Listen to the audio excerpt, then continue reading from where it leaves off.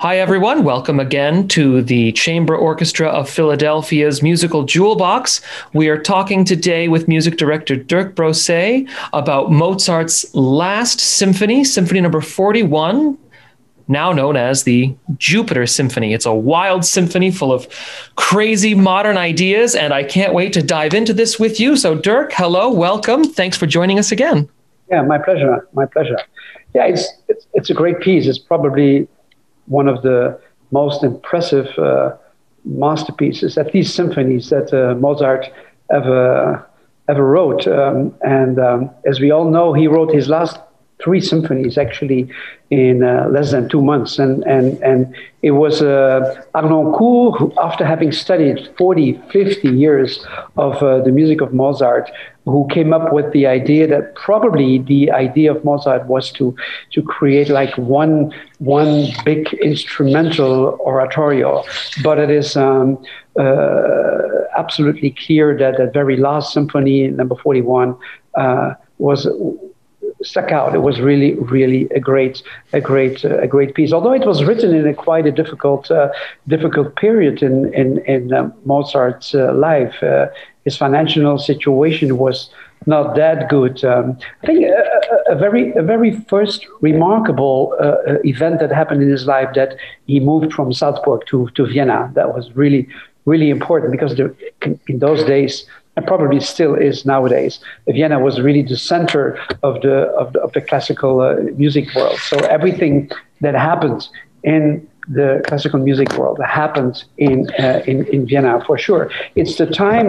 It's the time where he also met. Uh, met with Haydn, which is which is a very a very important event. They, be, they became friends, and they were even even even playing uh, playing playing music together.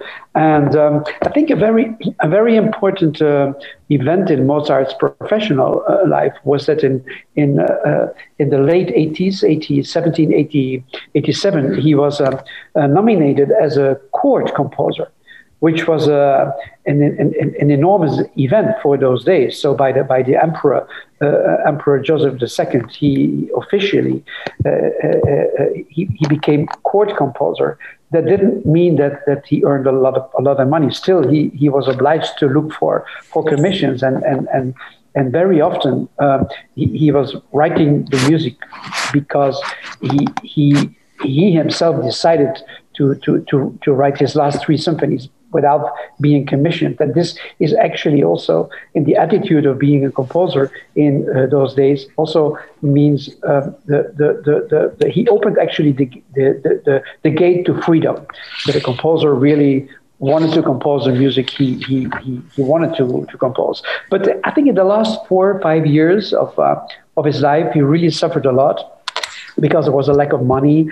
Um, uh, and it was also there was not much money around in Vienna in those days because all the money went uh, to the to the war. There was a, a, a great war going on in those days. It was a, the Austria uh, Turkish uh, Turkish war. So all the attention and all the uh, financial finances went uh, went uh, to that to that war. And his financial situation was so bad that he had to leave Vienna with his uh, with his children, with his family. He had to leave Vienna. He had to move to the to the suburbs and to to a small village near um, near near Vienna. And because there was no money, he started borrowing money from his uh, from his friends. As we all know, at the age of 20, 27, 28, 29, he, he joined uh, Freemasonry in uh, in Vienna. So he had some very very close friends who supported him with uh, with money, but still he he could not he could not refund it. And I think uh, uh the, the last couple of years uh, must have been awful for himself and his family.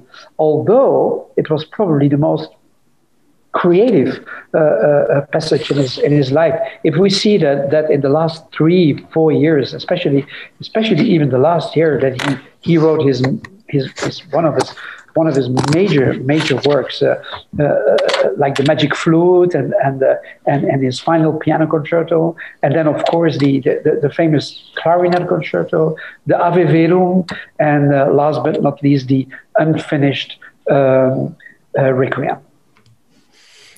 Right. And so if we if we focus in on, you know, these incredibly productive periods at the end of his life. And so he dies in December of 1791, right? And um, this symphony was completed um, in 1788 with uh, the 39th and 40th symphony, right?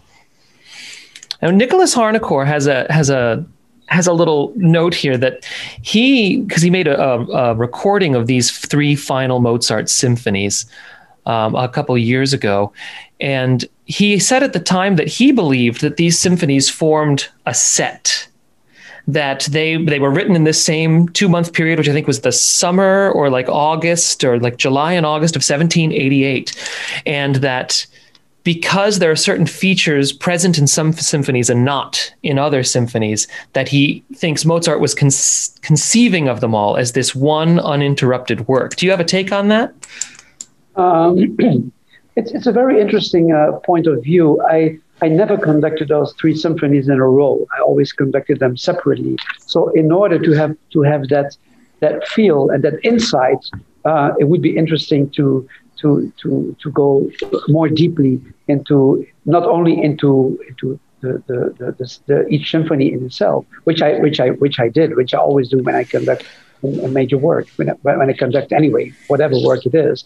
But it was it would be interesting to to rehearse it and to perform it uh, in in or record it in, in in one flow, and and then probably one another would really feel that there is there is a connection between uh, between the, the, the, the, three last symphonies. Actually, uh, uh, what I can tell that is that uh, at a later age he became more and more interested in Baroque music and especially in the music of uh, Johann Sebastian Bach and in the in the in the linear way of writing in the, in the, in the counterpoint mm-hmm. and uh, and you can you can see in in, in, in the three symphonies there are all of a sudden very sometimes complex chromatic lines appearing that that that that that, that never appeared in other in other symphonies. So there are some musical elements, so like like the return to the Baroque, the the, the return to the fugue, the structure of his music, the complexity, the instrumentation that becomes more dense, um, the introduction of the of the chromatic lines. So in, in one or another way, you can feel that those three symphonies uh, uh, are written, were written in the same time period uh, of, of, of two months. Right.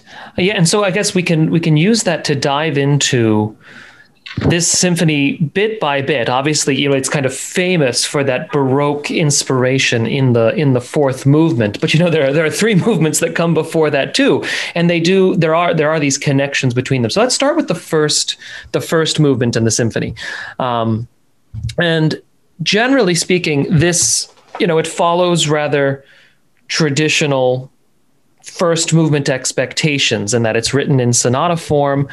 Um, and it, it does all the things you want it to do. Um, maybe not everyone is on board with us when we just throw out words like sonata form. So, can you give us a brief summary on what is sonata form, especially as it pertains to a symphony? Give us give us the the bird's eye landscape of what do we mean when musicians say sonata form because it's not a sonata it's a symphony but you know that's a kind of well first of all uh, when we go to the basic of uh, sonata form it's a composition structure it's like a, a metric frame an architectural frame uh, used by classical composers in which they uh, could uh, uh, write their, their music. Actually, it's basically you have three episodes. You have apart from a very short introduction, like a couple of bars, just to set the mood of a, of a, of, of a symphony, for example, you have the, the, the, the first section. the first section um,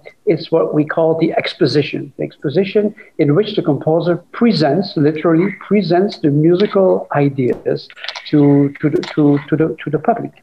And most of the times we have uh, two teams. We have team A that is written in uh, the tonica, and so in the in the in the in the in, in the in the, in the tonality of the of the symphony. And then there is a, a B team. Very often, the, the second team is in contrast, musically, rhythmically, in contrast with the first team. And also, very often it is presented in the dominant. So if a symphony is written in C major, so very often the second theme will be presented in the dominant, so in, in, in the key of G. Um, very often, this episode is repeated because in those days, the repetition of the music, in order to get acquainted and to get familiar with the musical material, was very, very important. So this is this is very standard. This is very standard. And then we have the B section, and actually, this is the most important uh, section uh, where we can uh, discover the creativity of the composer. So, what is the composer doing? He's taking little elements, small elements. It can be bits of melodies, it can be bits of rhythms, and he starts playing, playing around with it. So going away from the basic idea and, and just playing around in terms of tonalities, instrumentation, he's uh, experimenting. So this is like like like a, a, an episode where he can show uh, his artistry and his, uh, his fantasy in order to go back to the standard first piece, which is almost completely repeated. So the A section, the B section, and the A plus section is almost exactly a repetition of what we heard in the exposition. And sometimes, mostly, very often, there is like a, a coda. It's like a musical signature, just just to finish to finish the piece. And uh, some of the of the great composers uh, became famous because of the the B section, because of the of the development section. And uh, and one absolute master in in in, in exploring the development is uh, Joseph Haydn, Beethoven, of course. But also Mozart, and you can you can feel uh, his first his first symphony uh, that he wrote at the age of six or, seven, five, six or seven. You can already smell that there is a, an enormous uh, a creativity in the in the, in, in the mind of uh, of that genius composer and and the more uh, he composes, uh, the more we can see that uh, the the development, the B section, uh, be, becomes more and more creative and becomes more and more genius, like in, in this symphony. And actually, actually, the the the the the, the, the development, like especially in this symphony, can become a composition on its own. Right. And then specifically in, in this symphony, in his last symphony, um, there are two fun little things. One of them is more specific to this one, but um, going in order of, of the of the way we have these things here. Um, rather commonly, you know, when the A section comes back, the exposition, as we call it, we have the exposition, the development, and then a recapitulation, which we all now know as the word recap, but you know, it's a recapitulation.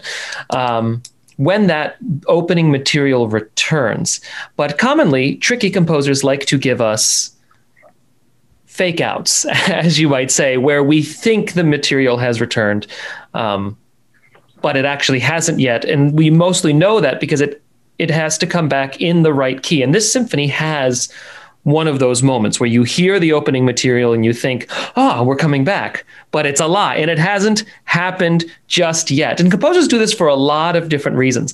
Uh, I would love to hear your uh, interpretive opinion on what is the emotional component of a false recapitulation and why do, what do you think drives Mozart to do it in this specific symphony? What, how does how does it heighten our anticipation?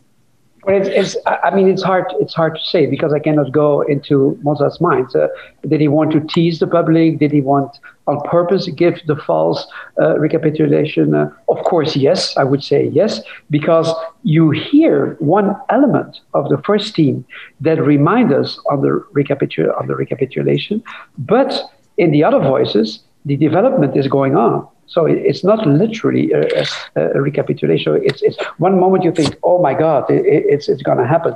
But also, we, we, he is also misleading us because of the key. He, he, he brings in the, the false recapitulation in a false key, in, in, in F whether it should be it should be C.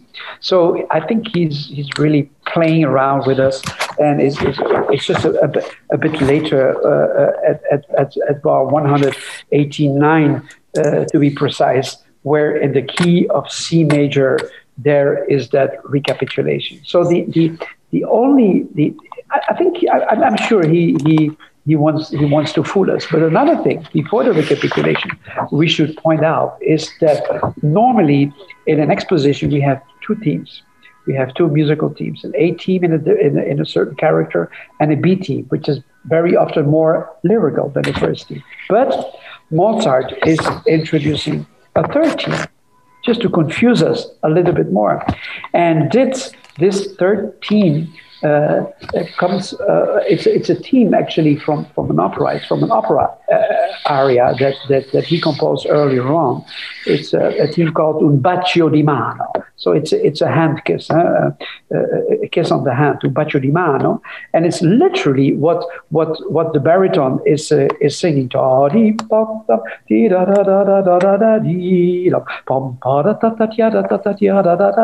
If you listen to that aria, it's really copy paste and he he puts it he he really plants it as a third team in his in his in his in, in his exposition never done before so maybe he he had that i, I think for me these are signs that that uh, he wanted to escape from the sonata form so he's really opening a door to the romantic period here so mm-hmm. i think mm-hmm. enough of, of, of the classical form and in musical in, in, in musical structure, in musical language, in the expression of the themes, in uh, the use of the dynamics and the instrumentation, you can feel that he wants to escape from a form that, that he loved and that, that in a way he invented, uh, and he wanted to escape from that form. And, and with this symphony, definitely he's opening he's opening the doors to Beethoven's First Symphony, and, and, and, and so on, and so on, and so on.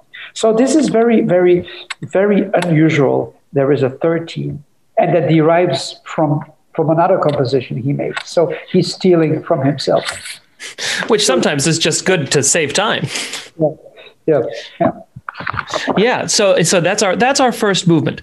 Um, so let's let's let's carry on through here because especially and I, I do love that that concept that he's taken something from um, a, a vocal piece of music because as we get to the fourth movement there's a couple points we can make about how important opera buffa is to Mozart's you know entire output and this kind of we're going to talk about a fusion of things but we'll get there when we get to the fourth movement. So let's go into the second movement now.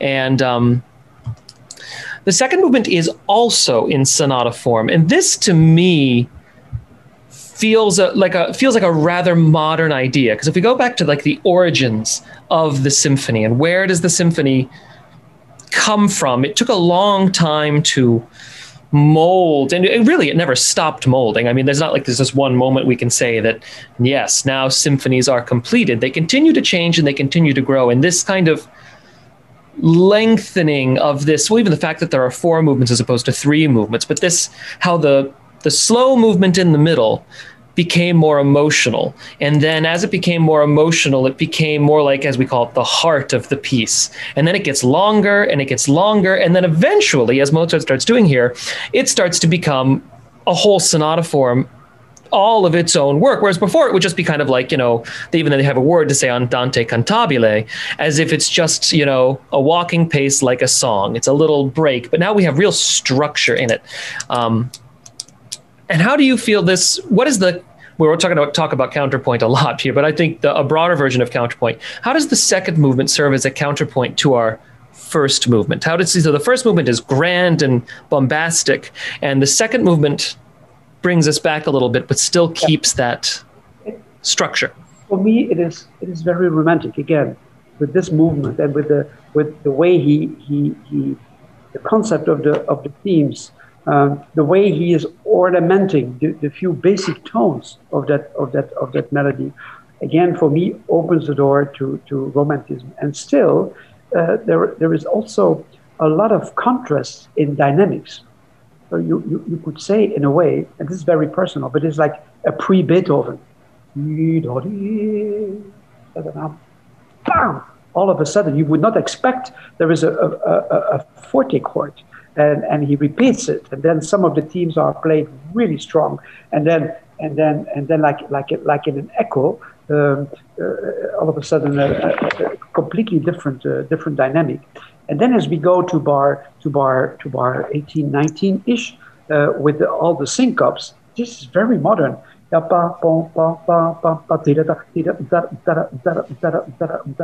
It's really, really, really very, very, very interesting. And, and, and probably in a way it reminds us on a, on, on, on a saraband, uh, rather a saraband than, than, than, than, than, than an andante cantabile in a 3-4.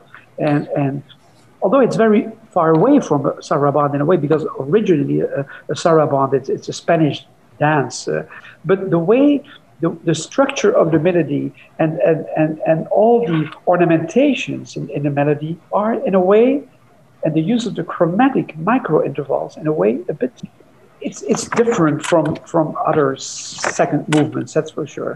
And um, depending, also depending on the on the tempo you take, because there are no no tempo indications. So some interpretations. We'll talk later about interpretations, but some some some people, some conductors do it very, very, very slow, and then I, I think it becomes a bit. Uh, what would I say? Uh, it, if you look at if you look at the texture, this this melodies and this tempo needs a flow, in, in, in order in order to, to, to, to come closer to the to the to the saraband feel. That's that's what I think. That's that's my approach anyway. So right then, now uh, we can move on to movement three. Now movement three for Beethoven becomes something really wild and really fun. And Mozart doesn't quite take us all the way to to the to the scherzo world, but we do get um, a couple interesting things to happen. You know, well, I say a couple. One specific that I'd like to talk about, obviously, because I have an agenda here that happens in in movement three, which as it relates to the fourth movement. But biggest uh, takeaway from the third movement is that it is, um, like many German composers, a Ländler. And uh, would you like to tell us a little bit about this? These Ländler waltzes and why these German composers like them so much? Well, the, actually, the the, the, the, the Ländler, it's the it's the it's the, the godfather of the waltz of the later mm-hmm. later waltz. Um, it, it, was a very very popular uh, Austrian uh, Austrian dance, um, and um, it, it's it's family of the minuetto, of course, but it's it's it's it's lighter, and this was music just like the minuetto. People loved to to to dance on it, but it was uh, while the minuetto was was very uh, uh, sophisticated, uh, you can say for the for the bourgeoisie, for mm-hmm. the aristocracy. The Ländler was really a folk dance that was really danced by by by local people, by by by by, by, by farmers and people people that were living a very very very simple simple life. Um, uh, and and what what is interesting about about this uh, Ländler, Minuetto Ländler, um, that is again the use of the chromatic lines. Uh, he's never he's never done something like like this before. If we if we look, for example, uh, to the texture, there was like one one chromatic pro progression um, around bar 40 44 ish, where you have this also contrapuntal chromatic lines, and it, it, it, harmonically it becomes very very weird and and and, and, and very, very complex for, for, for those days. And uh, another remarkable thing about, about this uh, uh, third movement is that he is already introducing the four notes of the, of the fugue. Uh, yeah. And, and, and, and, and, let me tell you something uh, about the four notes. I mean, it, apparently it's something, a four note theme that later on is used for fugue was was uh, very popular already in the in the Renaissance, like like the like the composers like uh, Josquin des and and and, and. Uh, they already in the 16th century they already were in love with the with the with the themes uh, consisting of, of, four notes. But um, I, I, just want to mention here that uh, also those four notes were very popular in Mozart's uh, works, not only in the in the in the last pages of the third movement and of course the entire fourth movement is built on it. But uh, also in his first symphony, when he, I just mentioned that before, when he wrote his first symphony at the age of six, seven years old, he already used those four notes. So it's amazing that in his first symphony and in the last symphony are based on, the, on, the, on that same uh, series of uh, four uh, notes. But also in his famous credo of the Missa Brevis in F major, uh, those four notes are, are, are, featured. And also in the first movement of the Symphony Number 33, it's very, very obvious. And then also in the in the in the trio of the minuet of the same symphony, we hear those four notes. And now he's using them in a, again in his last symphony. So he, there was a relationship uh, musically, historically, but also in the works of, uh, of, uh, of, of Mozart. There is something with those with a, a theme consisting of those four, four notes. But it's very intelligent that he's already announcing, uh, already introducing those four notes. Uh, so the, the, the, the, the, listener already had those four notes in the, in the ear, and all of a sudden, uh, because it's really he's using it in the very last minute, very last seconds, very last minute of, uh, of, of, of, the, of the trio. Then we have, of course, the recapitulation of the first material of the of the Ländler, and then we hear it full size in the fourth movement, and that brings us probably to the fourth movement. Right. Yeah, and we can go, we can take that right into our our beautiful fourth movement, where our our four note motive opens right off, whereas though before it, it appeared to us in a minor key because um, I think it starts on the seventh scale degree, so it puts it in this spookier sound. Coming, you know, it's on this happy music and it's got this da da da da. Um, but now it has a rather, I would say, kind of a, a heroic sound, which is not quite um, the topic for today, but interesting how a simple shift in tonality can take the same structure and contour and, and completely shift our interpretation emotionally of what of what we're getting from that. Um, so yeah, we open right up with what is now our heroic ba re fa mi, and this is going to lead us on to quite a journey uh, through this last most famous of these four movements, where things get a little bit fugal fugal. Yeah. It's yeah. Fugal. Yeah. Yeah. Fugal with an L. There is a fugal all over the place, and he's also playing around with a with a with a with with yeah with the structure. I mean, all of a sudden there is uh, after he presented the first team, there is already a small a small development. For example, in bar bar, let me see, I have the score in front of me. But but uh, so he starts with the first team, da, da, da, da. then you have the, the second team, very triumphal, and then in bar 36 there is already a small, as a, as a, as a small uh, uh, intermezzo. Um, there's already a, a, kind of a sort of development, a mini development, yeah, where he already introduces that big moment that will appear later on, where we have all those teams playing be played at the at the, at the, at the same time. And then he goes back to the then he goes back to the to the to the normal structure of the of, of his exposition. For example, when the, the third team comes in around around bar 70-ish, 73, 74, a completely different uh, character. But then again, in 94, when he presented the, the third team again, he makes a little intersection where where that for me can be considered as a as a pre-development, as a as a as a pre yeah he's like preparing that that that great moment in in, in I would say in music history not only in this symphony, but in, in, oh, in for sure history. And then he's building, building, building. And then again, in 130, 136, there was again uh, a, a, a, mini development with all those uh, different introductions of the dee pa da So it's all about about fugative entrances and about connection uh, to the uh, to the uh, baroque music so already in the in the presentation of the in the exposition of, uh, of, of the first symphony, many things are happening different from habit.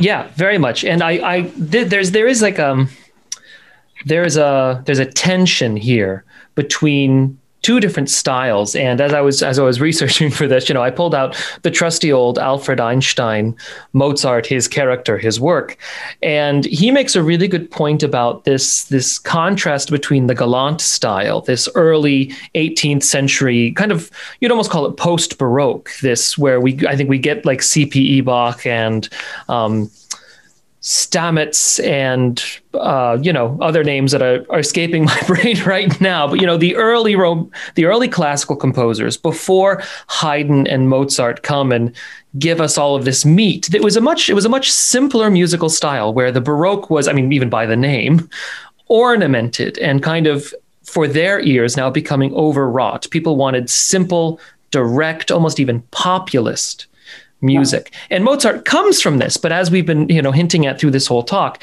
as he ages, he becomes more and more drawn to this older, learned style, as as Einstein points out. And so we've got this opera buffa. Let's talk directly to the people. If you can't understand it in the front, you know, the back row standing seats, then it's not worth anything. And also this more educated academic which in the early 1700s you might have called like a, a, stuffier kind of music, but Mozart's drawn to both of them, and he's trying to find a way to shove them together. And so what we get is this fourth movement that is, it is still contained within sonata form. It, it kind of still on the surface follows the rules of what sonata form does, but within its own sections, he's pretending to be to be J.S. Bach, and already, as we're just talking about this exposition, he's given us all these little motivic materials, which are going to become crucially important for the for the grand finale of this thing. But as you were kind of hinting at something, we had a Beethoven connection where he's doing things that Beethoven would pick up the ball and run with later.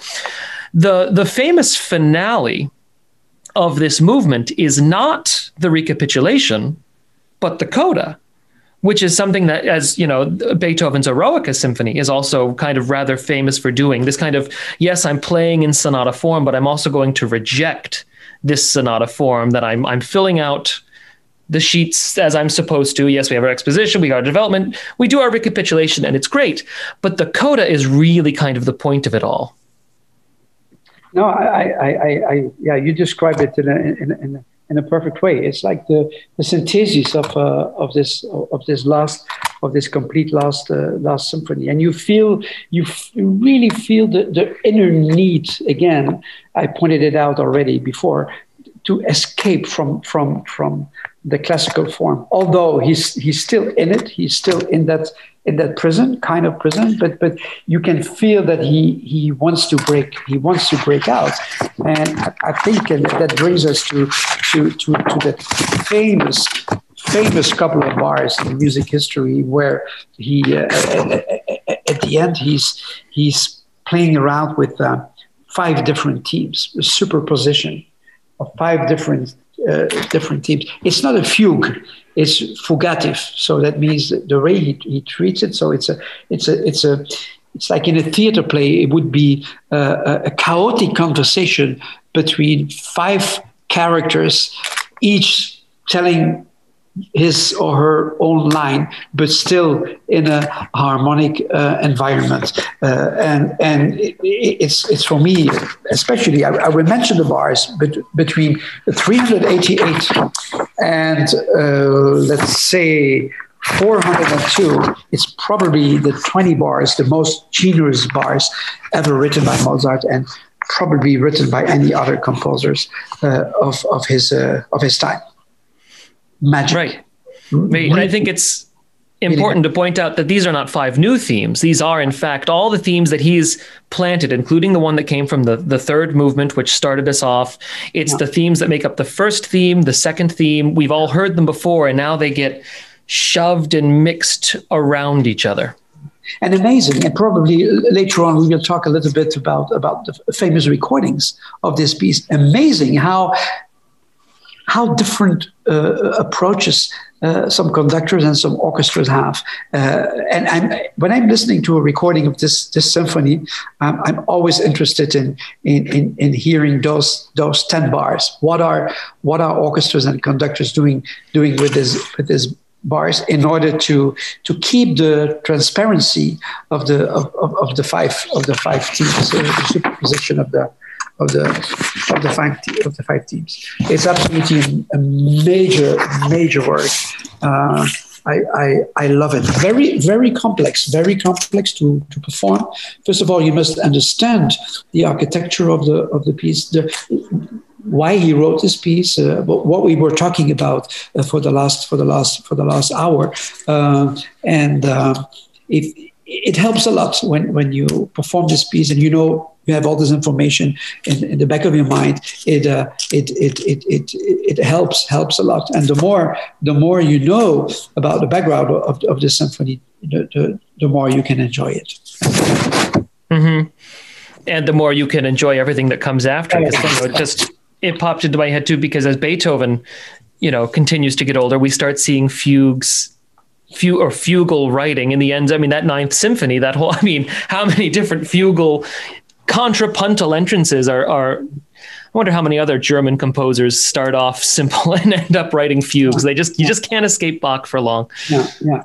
But probably we can we can we can finish talking a little bit about about uh, the recordings strategy and the recording results. Um, yeah. Probably I don't know if people know that that that, that this this uh, Mozart never heard the the symphony in, in, his lifetime, so it was only premiered after after he uh, he, he, he passed away. But the, the just some some facts and figures, some some trivia that probably people are interested in. The the very first performance in the U.S. of the symphony was uh, uh in 1843 yeah, very first mm. performance, and it was uh, an orchestra uh, conducted by um, Henry Smith, American conductor Henry Smith. It was in the Academy of Music in uh, in Boston, Boston Odeon. Yeah, and then the first recording, the first recording of that that symphony uh, was in 1913 and it was also by uh, an American orchestra, by the Victor Concert Orchestra in the 19, back in 1913, and the conductor was uh, William Rogers. And the, the Victor Orchestra was called after Victor August Herbert, who was an American uh, cellist and composer and uh, conductor who, who, was born around 1860 and, and passed away early early 20, 20th century. So he had his own his own orchestra, and his orchestra his orchestra made the very very very first recording ever of this uh, symphony.